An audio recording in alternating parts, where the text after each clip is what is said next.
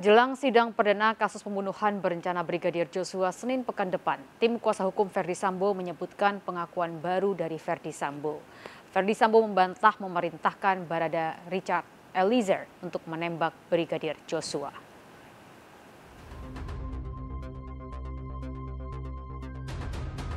Jelang digelarnya sidang perdana kasus pembunuhan berencana Brigadir Joshua 17 Oktober mendatang, tim kuasa hukum tersangka Ferdi Sambo dan Putri Chandrawati menggelar konferensi pers.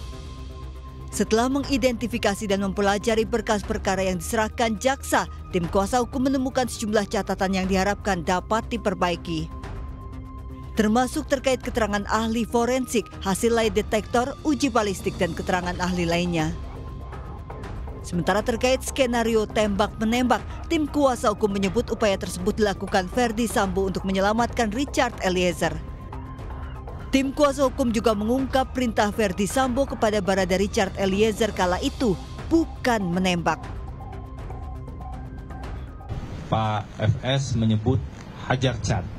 Memang ini tidak bisa dilepaskan dari konteks sebelumnya ketika kalau dari berkas yang kami pelajari ketika sebelumnya di lantai tiga di rumah uh, Saguling yang disampaikan oleh Pak FS adalah uh, untuk backup kalau sesuatu terjadi. Saya tidak bisa sampaikan secara detail ya saat ini.